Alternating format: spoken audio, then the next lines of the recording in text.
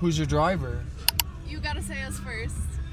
You have the license plate and my name and my face, so technically, you have to say my name. Can you just say our name, please? Yeah, just tell me your name and we're good to go. No, you I could see just like. Oh. We're girls though. Do you see my face on the app? Well, you have short hair. Yeah, What color short. is the What color is the car? Dude. Dude, can Come you just on. Say it? Like, For It's okay if you can't pronounce it. Can you just say it? Yeah.